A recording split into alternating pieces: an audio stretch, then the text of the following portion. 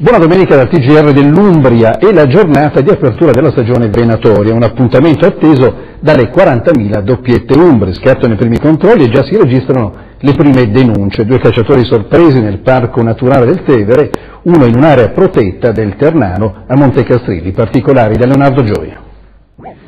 Andava una caccia in aree naturali protette dove l'attività venatoria è vietata, denunciati alla magistratura tre cacciatori, due di loro sono stati sorpresi dalla polizia provinciale di Perugia, avevano abbattuto due fagiani nel parco fluviale del Tevere nei pressi di Todi. Il terzo cacciatore denunciato si trovava in un'area protetta di Monte Castrilli, bloccato dalla provinciale di Terni. Questi gli episodi più gravi nella giornata di apertura generale della caccia, 42.000 i cacciatori umbri, di cui 32.000 nella provincia di Perugia. Oltre 400 controlli effettuati sull'intero territorio regionale da 113 pattuglie delle due polizie provinciali e del Corpo Forestale dello Stato.